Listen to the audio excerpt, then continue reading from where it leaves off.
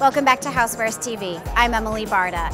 When you think of Le Creuset, you think of beautiful colors, and this year they're introducing a new one called Soleil, as well as a new collection, which is the Cafe Collection. This is Judy, and she's going to tell us all about it. So, Judy, Soleil, oh, what a beautiful sounding color. The inspiration of Soleil was really to try to capture that warm glow of the sun in their backyard and really bring the story together of um, your family and being that late afternoon and how warm the color is.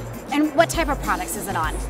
It is on our full range of product, which is our cast iron, enamel on steel, all of our tools and utensils in silicone, and our stoneware collection. And as I mentioned, there's also a brand new collection called the Cafe Collection. Tell us more about this. So the Cafe Collection launched in 2012 with a focus on coffee, and we came back this year to expand that and bring in a collection of tea.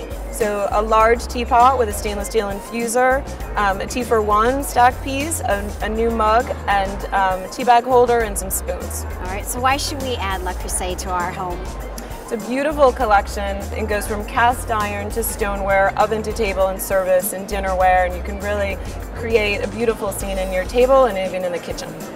So if you would like to incorporate either the new color of Soleil or the new collection of the Cafe Collection into your house, apartment, or condo, be sure to visit lecreuset.com or take a look at your local gourmet products show. The Cafe Collection retails from about 15 to $50.